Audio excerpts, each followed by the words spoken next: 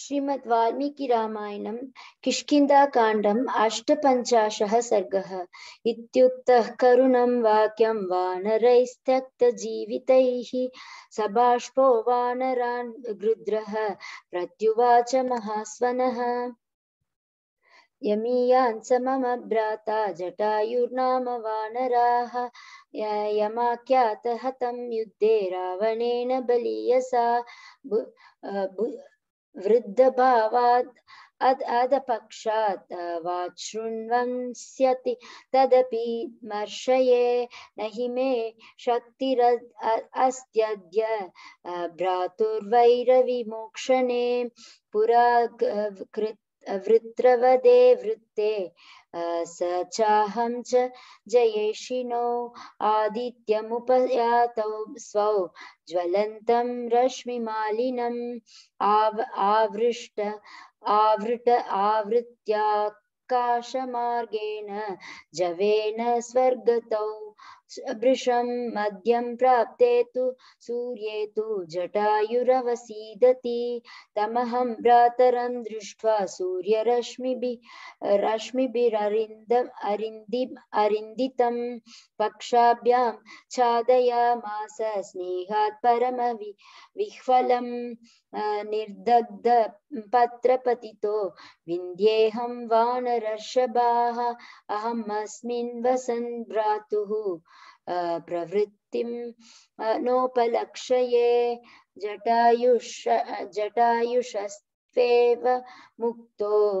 भ्रात्रा सम्पादिना तदा युवराजो महाप्रज्ञः प्रत्युवाचाङ्ग अङ्गदस्तदा जटायुषो यदि भ्राता श्रुतं ते गतितं मया आख्याहि यदि जानासि निलपं तस्य रक्षसः अदीर्घदर्शिनं तं वै रावणं राक्षसाधमम् अन्तिके यदि वा दूरे यदि जानासि शंसनः, ततो ब्रवीन् महातेजा भ्राता ज्येष्ठो जटायुषः, आत्मानुरूपं वचनं वानरान् सम्प्रहर्षयन् निर्दग्धपक्षो गृद्रोहं गतवीर्यः प्लवङ्गमाः।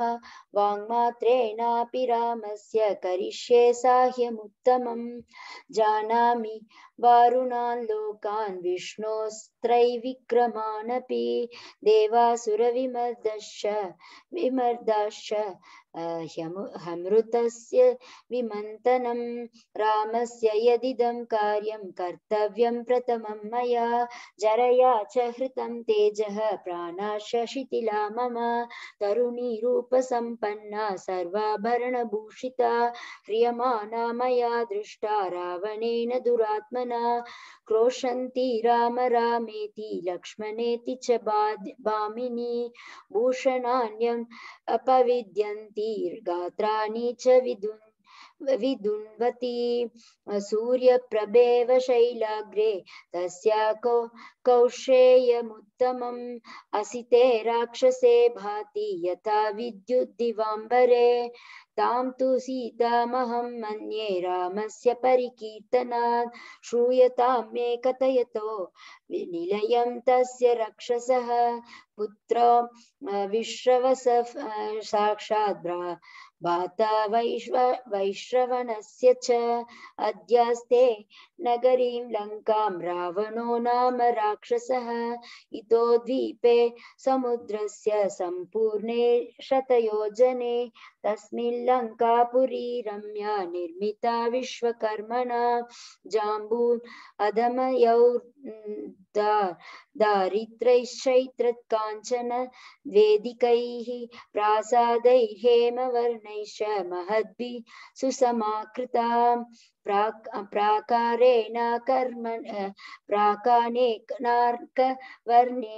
महता च समन्विता तस्यां वसति वै देही दीना। कैशे कौशेयवासिनी रावणान्तःपुरे रुद्ध राक्षसीभिः सुरक्षिता, जनकस्यात्मजां राज्ञस्तस्यां द्रक्ष्यत मैथिलीं लङ्कायामथ गुप्तायां सागरेण समन्ततः सम्प्राप्य सागरस्यान्तं सम्पूर्णं शतयोजनम् आसाद्य दक्षिणं तीरं ततो द्रक्ष्यत रावणं तत्रैव त्वरिता क्षिप्रं विक्रमध्वं प्लवङ्गमाः ज्ञानेन खलु पश्यामि दृष्ट्वा प्रत्यागमिष्यत। आद्यः पन्थाः कुलिङ्गानां ये चान्ये धान्वजीवितः जीविनः। द्वितीयो बलियोजा बलिभोजानां ये च वृक्षपलाशनाः। वासास्तृतीयं गच्छन्ति। क्रौञ्चाश्च कुररैः स्तः शेनाश्चतुर्थं गच्छन्ति। गृध्रा गच्छन्ति पञ्चमम् बलवीर्योपपन्नानां रूपयौवनशालिनां षष्ठस्तु पन्थाहंसानां वैनतेयगतिः परा, वैनतेयाशनो जन्म, सर्वेषां वानरषभाः गार्हितं तु कृतं कर्म येन स्म विषिताशिनः प्रतिकार्यं च मे तस्य वैरं भ्रातृकृतं भवेत्। इहत्योऽहं प्रपश्यामि रावणं जानकीं तथा अस्माकमपि सौपर्णं। दिव्यं चक्षुर्बलं तथा तस्मादाहारवीर्येण निसर्गेण च वानराः। आयोजन, आयोजनशतात् साग्राद्वयं पश्याम नित्यशः। अस्माकं विहिता वृत्तिर्निसर्गेण च दूरतः। विहिता वृक्षमूले तु वृत्तिश्चरणयोधिनाम्। उपायो दृश्यतां लङ्घने लवनां, लवनाम्बसः अभिगम्य तु वैदेहीं समृद्धार्था गमिष्यत, समुद्रं नेतुमिच्छामि। भवद्भिर्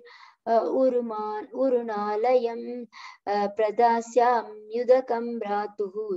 स्वर्गतस्य महात्मनः, ततो नीत्वा तु तं देशं तीरे नदनदीपतेः निर्दग्ध निर्दग्धपक्षं सम्पातिं वानरासु महौत महौजसः, तं पुनः प्रापयित्वा च तं देशं पदगेश्वरं बभूवुर्वानरा हृष्टाः, प्रवृत्तिम् उपलभ्यते इत्याशे श्रीमद् रामायणे वाल्मीकिये आदिकाव्ये किष्किन्धाकाण्डे अष्टपञ्चाशः सर्गः।